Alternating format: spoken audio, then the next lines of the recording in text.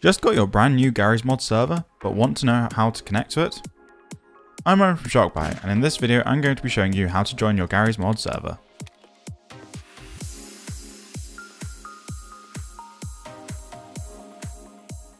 To locate your server address, you'll need to log into your server control panel.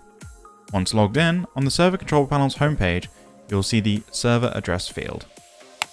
The first part of the number before the colon is the IP, the second part after the colon is the port.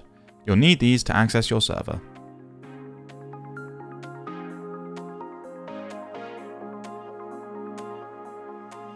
To join your server via Steam, you'll need to load up the Steam client. From the Steam client, go to View at the top of the page, then Servers.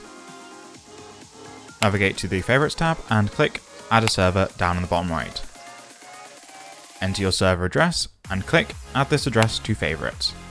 Then select the server that you've just added from the list and click Connect.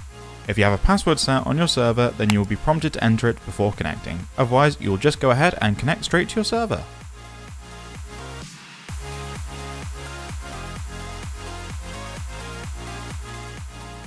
Another method of finding and connecting to your server is via the community search list if your server has been set to publicly visible. The community search list is the most likely method your friends will use to find and join your server. Click Find Multiplayer Game from the main menu, then select the game mode your server is running. For this example, our server is running in Sandbox mode. Search for your server by its name, and wait for your server to appear. Click on your server, enter a password if needed, and select Join Server. You're now connected to your Garry's Mod server.